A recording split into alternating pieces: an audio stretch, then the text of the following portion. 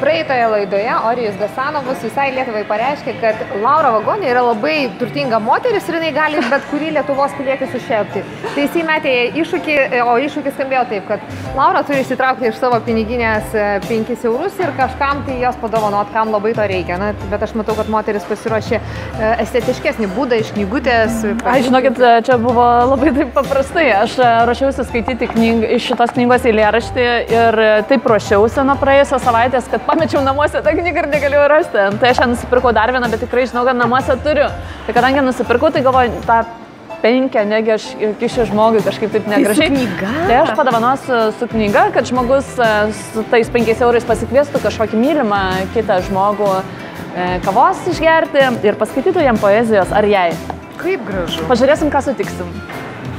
Puikų žmogų. Let's go. Sveiki.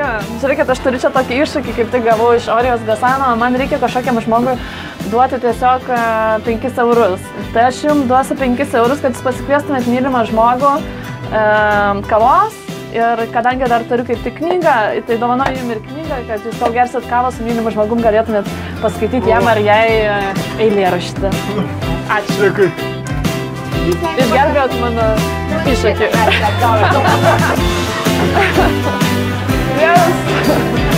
Įvykdžiau. Go. Aš manau, kad Laura labai sėkmingai įvykdė iššūkį, tai dabar belieka tik tai iššūkį mūsų sekančiam svečiui mesti, tai ir jisai skamba kaip. E, nebuvau apgalvojus šito, ką reikia daryti, bet e, labai man padiktavo šiandienos eiga iššūkį kitą. Aš kadangi tuos 5 eurus netyčia padovanojau su knyga, Labai norėčiau, kad kitas e, pašnekovas atsineštų jau savo mėgstamą knygą, ar e, jau skaitytą su pažymėtom kažkokiam citatom, ar naują nupirkęs ir e, padovanotų ją kažkam iš besilankančių šiame prekybos centre. Taip ir keliausim.